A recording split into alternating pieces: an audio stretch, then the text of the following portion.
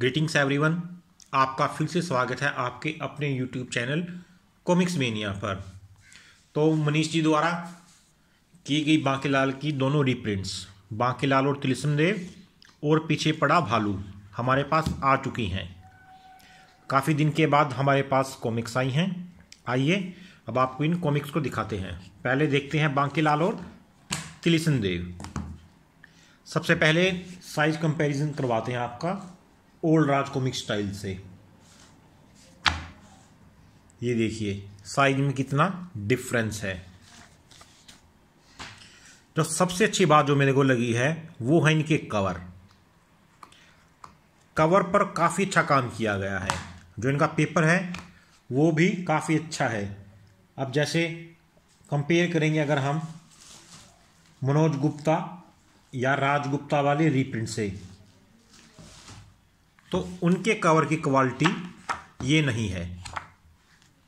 ये देखिए, काफ़ी फ़र्क है क्वालिटी में। यहाँ पर कलर काफ़ी निखर के आए हैं।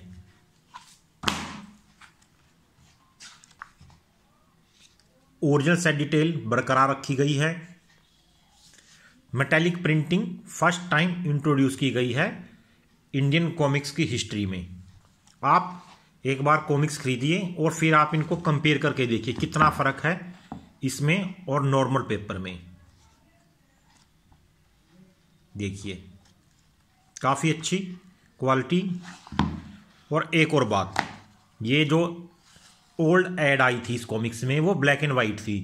पर अब मनीष जी द्वारा इन पर कलरिंग करके प्रॉपर काम करके फिर कॉमिक्स को रिलीज़ किया गया है।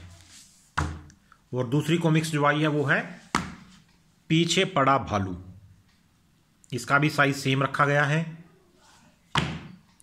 मूल्य वही एक सौ दस रुपये इन बिग साइज़ कॉमिक्स का मूल्य एक सौ दस है, जबकि दूसरे पब्लिशर द्वारा छोटी साइज़ कॉमिक्स का मूल्य वन ट्वेंटी वन फोर्टी बल्कि अब तो शायद वन फिफ्टी रुपीज़ हो गया है। और जो in big size premium quality में प्राइस है ओनली वन हंड्रेड टेन इस कॉमिक्स में भी कवर पर काफ़ी अच्छा काम किया गया है। प्रिंटिंग टॉप नॉच तो आप इन कॉमिक्स को ज़रूर खरीद कर एक बार पढ़कर देखिए। आप निराश नहीं होंगे दोस्तों। तो आज के लिए इतना ही दोस्तों। धन्यवाद।